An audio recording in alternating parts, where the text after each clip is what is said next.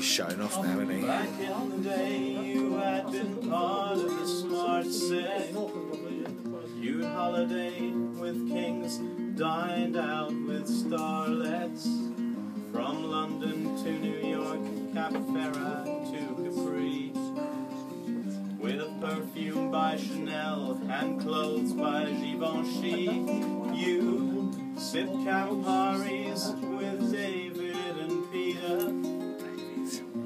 Noel's parties by Lake Geneva.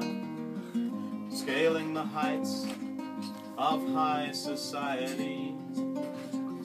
Armed only with your checkbook and a family tree. You chase the sun around the Côte d'Azur until the light of youth became obscured and left you on your own and in the shade.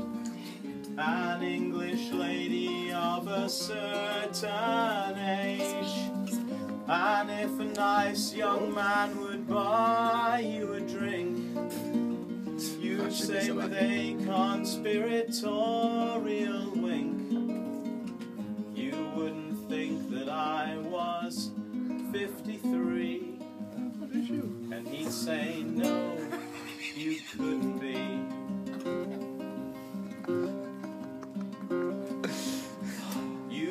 to marry someone very, very rich so that you might be kept in the style to which you had all of your life been accustomed to, but that the socialists had taxed away from you. You gave him children, a girl and a boy. Sanity, a nanny was employed. And when the time came, they were sent away. Well, that was simply what you did in those days. You chased the sun around the Côte d'Azur until the light of youth became obscured and left you on your own and in the shade. An English lady of a certain age.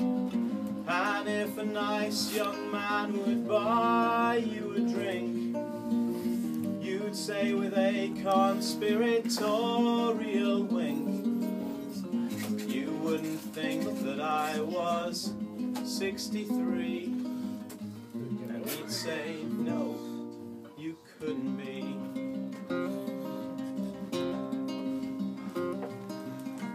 Your son's in stocks and bonds and lives back in Surrey. Flies down once in a while, leaves in a hurry. Your daughter never finished her finishing school.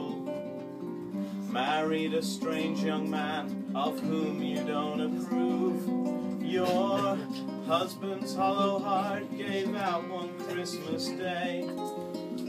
He left the villa to his mistress in Marseille. And so you come here to escape your little flat. Hoping someone will fill your glass and let you chat about how you chase the sun around the Côte d'Azur until the light of youth became obscured and left you on your own and in the shade. An English lady of a certain age. And if a nice young man would buy you a drink, you'd say with a conspiratorial wink, you wouldn't think that I was 70. And he'd say,